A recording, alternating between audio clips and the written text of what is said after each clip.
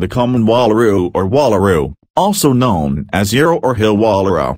The word Euro is particularly applied to one subspecies the eastern wallaroo is mostly nocturnal and solitary, and is one of the more common macropods.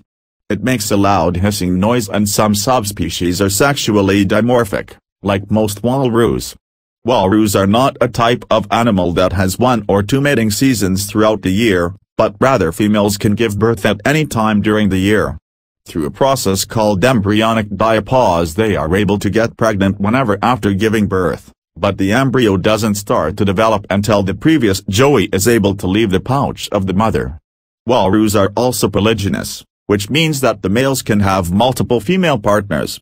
During the mating process fighting occur between males in order to attract a female mate.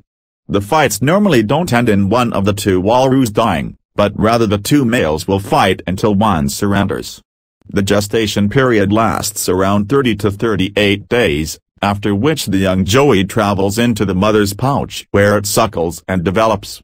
The young joeys start to leave the pouch at around 6 months and by 9 months they no longer spend most of their time in the pouch.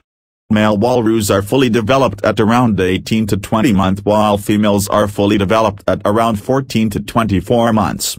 The relationship with the joey and his parents changes as the joey grows and gets older.